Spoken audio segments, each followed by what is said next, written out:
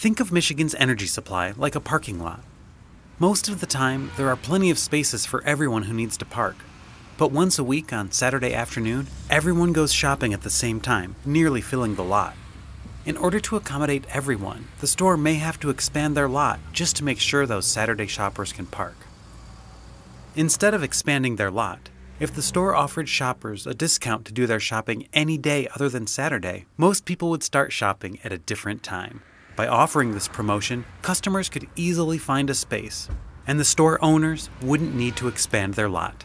For Michigan's energy supply, that Saturday afternoon shopping rush is like those hot summer afternoons when everyone wants to run their air conditioner and demand for energy is high.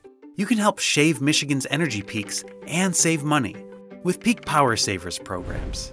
They work by incentivizing smart energy use outside times of highest demand in summer, meaning we'll be able to provide you affordable and reliable energy without building more power plants.